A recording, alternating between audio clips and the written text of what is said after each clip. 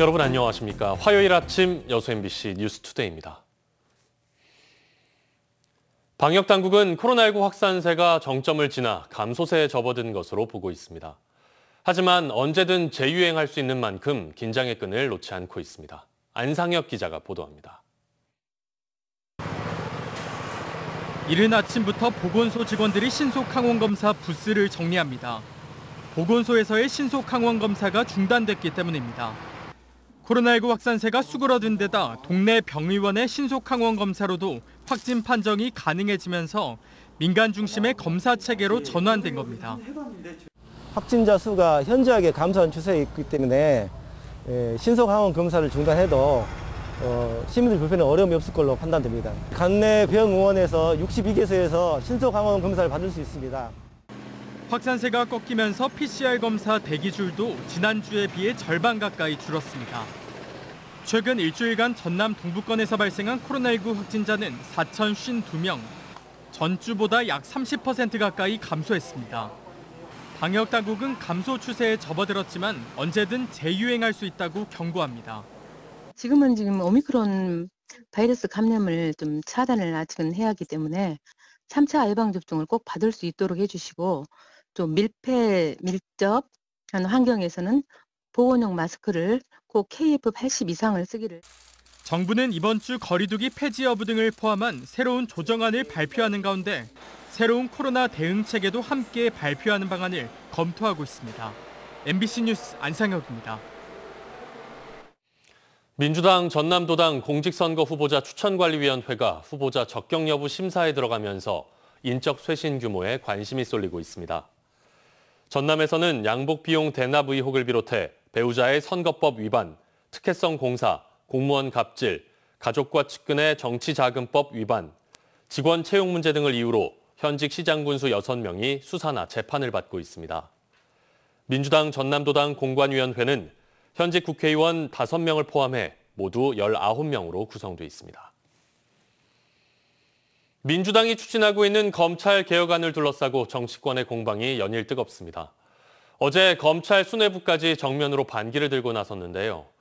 검찰의 수사권 박탈에 대해 신중론의 무게를 두고 있는 지역 국회의원들이 여론의 도마 위에 오르고 있습니다. 문형철 기자입니다. 현재 민주당이 추진하는 검찰 개혁의 핵심은 검찰의 수사권을 완전히 박탈하는 이른바 검수완박입니다. 국민의힘에 이어 검찰도 집단으로 반기를 들고 나섰지만 민주당 지도부는 수사권과 기소권의 분리는 검찰 정상화와 사법 정의를 위한 것이라며 강행 의지를 다시 한번 밝혔습니다. 과도한 검찰의 권한 그것이 기득권을 낳았고 특권을 낳았기 때문에 그 특권을 해체하고 정상으로 돌아가자라고 하는 것이 검찰 개혁의 목표라는 점을 이런 가운데 검사장 출신의 지역 국회의원들이 여론의 도마 위에 올랐습니다. 최근 열린 민주당 의원총회에서 주철현 의원과 김혜재 의원이 검수 완박 방침에 반대하는 듯한 발언을 했다며 민주당 강성 지지층의 질타가 이어지고 있는 겁니다. 주 의원과 김 의원은 수사권과 기소권을 분리하는 것에 반대하는 것이 아니라 향후 발생할 수 있는 부작용을 면밀하게 검토해 대안을 마련해야 한다는 취지였다며 검찰 개혁의 필요성에 공감하고 있다고 해명했습니다. 하지만 정권 교체가 한 달 앞으로 다가온 상황에서 여유를 부릴 때가 아니라며 신중론을 비판하는 목소리가 여전히 적지 않습니다. 한편 역시 검사장을 지낸 순천의 소병철 의원은 검수완박 방침에 대해 개별적인 의견을 낼 사안은 아니라며 당의 결정에 따르겠다는 입장을 내놨습니다. 반면 비검찰 출신인 서동용 의원은 윤석열 정부가 출범하면 거부권을 행사할 우려가 있는 만큼 4월 안에 관련 법안을 통과시킨 뒤 부족한 부분은 추후 보완하는 것이 바람직하다며 속도에 방점을 찍었습니다. 정권 말 추진되는 검찰 개혁안을 두고 법률가 출신의 지역 국회의원들이 미묘한 온도차를 보이고 있는 가운데 민주당은 오늘 다시 의원총회를 열고 수사권 분리 법안에 대한 당론 채택을 시도할 예정입니다. MBC 뉴스 문형철입니다.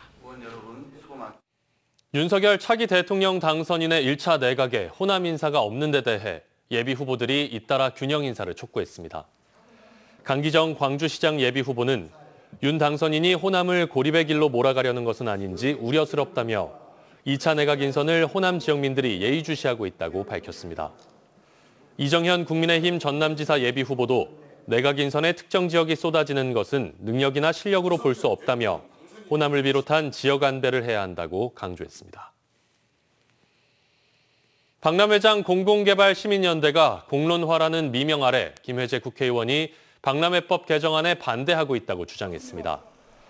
시민연대는 어제 여수시청 앞에서 김회재 의원에게 박람회법 국회 통과에 적극 협조해달라는 내용의 기자회견을 갖고 지역의 일관된 의사를 무시하는 반대를 위한 반대를 더 이상 인내할 수 없다며 김 의원이 직접 TV 끝장 토론에 나와 결론을 내자고 요구했습니다. 시민연대는 특히 여수 박람회장 사후 활용을 위한 공공개발의 주체를 여수광양 항만공사로 하자는 것은 지난 10년간 진행된 공론과 수기의 결과물이라며 민주당 정부가 약속한 박람회법 개정안의 신속한 국회 통과를 주문했습니다. 윤석열 대통령 당선인이 지난 대선 과정에서 지역 공약으로 광양항의 글로벌 스마트 항만 조성을 약속했는데요. 지역 차원에서도 광양항 활성화를 위한 절호의 기회로 보고 실행 로드맵을 구체화하는 데 집중하고 있습니다. 김주희 기자입니다. 지난 대선 기간에 후보자 신분으로 광양항을 방문한 윤석열 대통령 당선인. 윤 당선인은 당시 광양항의 글로벌 스마트항만 조성을 지역 공약으로 제시했습니다.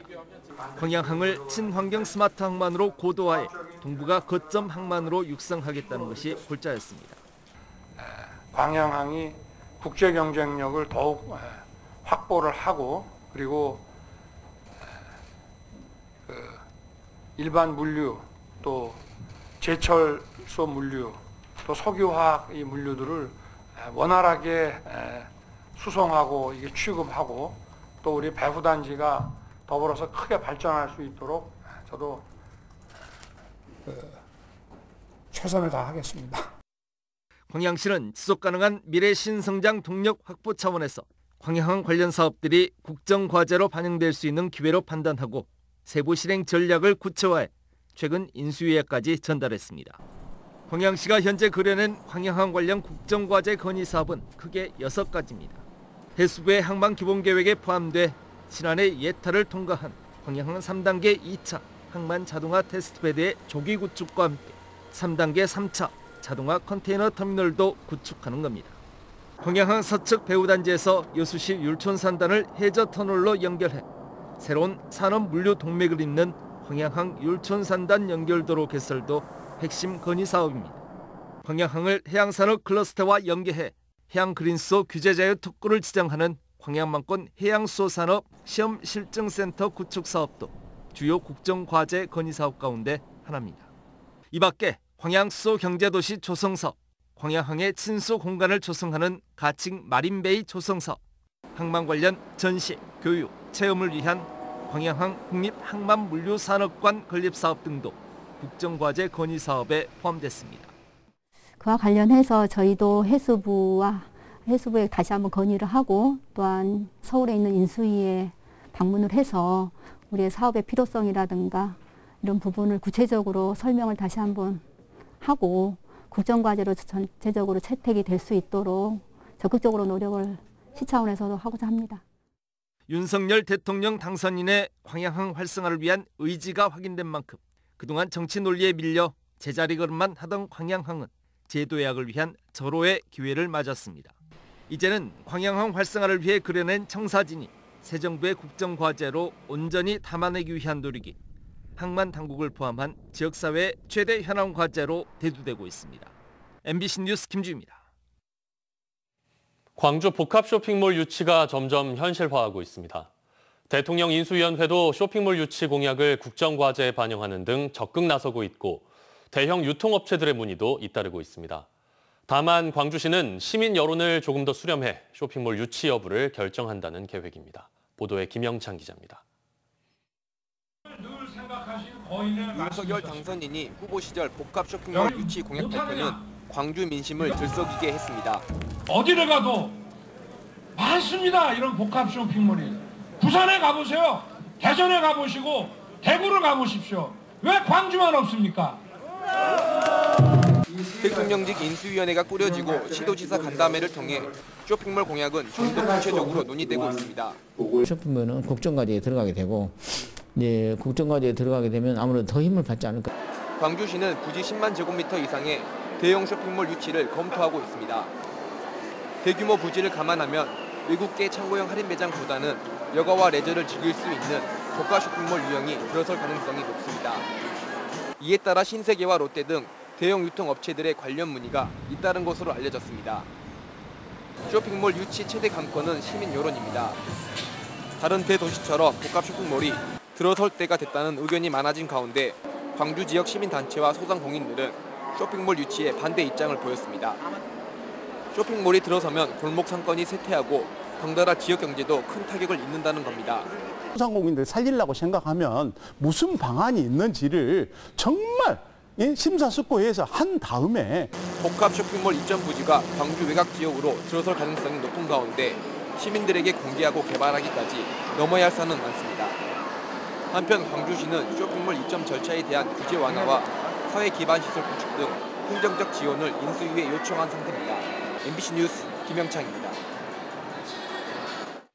올해 첫 모내기 시기가 지난해보다 일주일 정도 빨라진 것으로 나타났습니다. 고흥군은 고흥읍 등암리 일대 조생종 진옥벼 40헥타르를 모내기하기 시작했으며 6월 초까지 총 1만 천여 헥타르를 모내기할 예정이라고 밝혔습니다.